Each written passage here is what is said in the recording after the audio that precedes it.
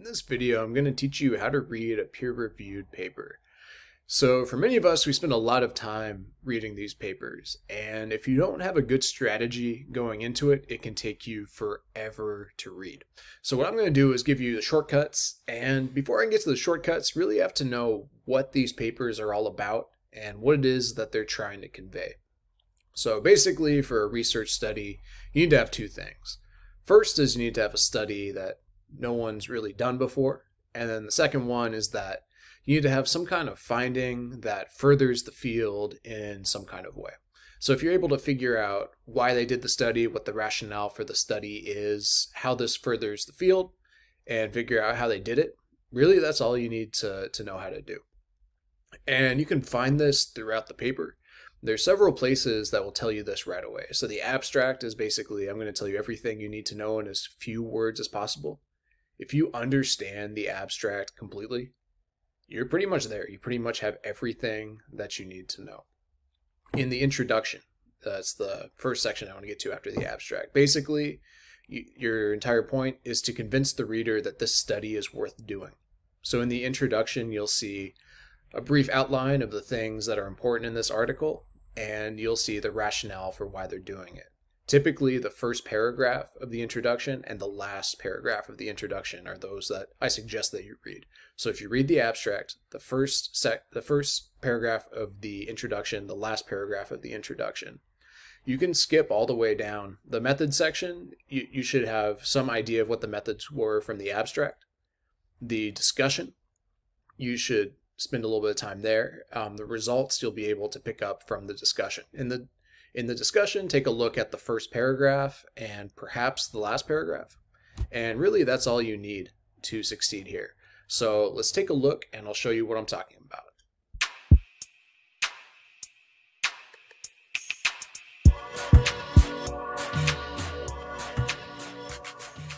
All right, so let's use this method to quickly go through an actual article. So this one, amygdala responses to emotionally valent stimuli in younger and older adults. Okay, so how does the amygdala act? So as they age, adults experience less negative emotion and come to pay less attention to negative than positive emotional stimuli and become less likely to remember negative than positive information. Okay, these this profile of findings suggests that with age, the amygdala may show decreased reactivity to negative information, maintaining or increasing its reactivity to positive information. Okay, that makes sense because the amygdala is involved with negative information and remembering positive information better. We used event-related functional magnetic resonance imaging, okay, fMRI, to ass assess whether amygdala activation in response to positive and negative pictures changes with age. So we don't know what the differences are. So the key piece is we don't know what happens in the amygdala with age. So doing a study and seeing if there's different activation between younger and older adults. So that's set. We kind of have the rationale for it, and no one's ever done it before. And you know, the amygdala is an important part of the brain, so we have rationale already.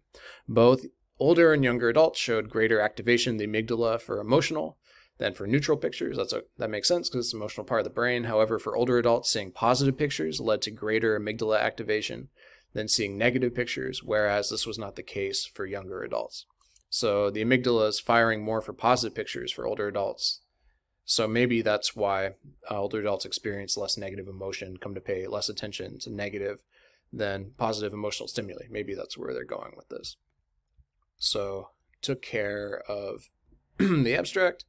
And let's see. So older adults experience less negative affect than younger adults, and different types of studies, affective experiences seen in age stands in sharp contrast. So physically and cognitively, looks like older adults decline, but the emotional experience is improved Okay, I mean that's enough to to go down. They they did the study they were talking about. They used the functional magnetic resonance imaging, the fMRI. And let's go down to the discussion. The present findings indicate that older adults diminish their encoding of negative emotional experience during the first moments of that experience. This was evident in the reduced arousal ratings and the reduced amygdala response for negative pictures that occurred during encoding. So it looks like when processing information, older adults selectively choose not to process and pay attention to negative information. For younger adults, that wasn't the case, and this suggests that older adults Online reductions in response to negative pictures should lead to disproportionately diminished later memory of negative information. So, yeah, they're not processing the negative information as well, so they won't remember it as well. Two studies found that older adults showed less amygdala activation than younger adults, so part of the brain that's involved in fear isn't going off as much. And the, the present study suggests that these age differences do not reflect an overall decline in functioning of the amygdala, but instead reflect a shift in the emotional stimuli that's most responsive. So basically, what's saying is the amygdala still works in older adults, but it's focused less on negative information, and maybe that's why older adults claim to be doing better emotionally than younger adults. So yeah, that's it. I mean, it makes sense, uh, short and succinct. We want to know why older adults report having better like emotional wellness than younger adults, and it looks like the amygdala, which is involved in picking out emotional pieces of our daily life is uh, implicated in this. And it shows that for older adults, it doesn't work as hard on the negative information as it does for younger adults. So that's at least some evidence to suggest that changes in the amygdala leads to a different experience of affect, another word for emotion for older adults. So yeah, that was a, a big study, a technical study, and got through it in about four minutes. So I hope this was helpful and thanks for watching and have a great day.